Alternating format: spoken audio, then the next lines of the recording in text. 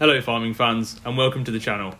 This video features the Claas Lexion 760 TT combine harvester and was filmed just north of Bristol in the southwest of England. Produced between 2015 and 2019, the Lexion 760 TT is powered by the C13 Caterpillar engine, outputting an impressive 503 horsepower.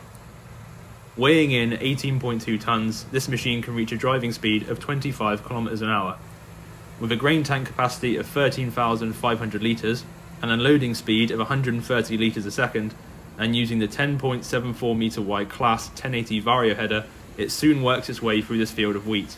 The Lexion 760TT model features front tracks instead of wheels, which help distribute the weight of the combine over a larger area, reducing soil compaction in the field and increases traction in wet conditions.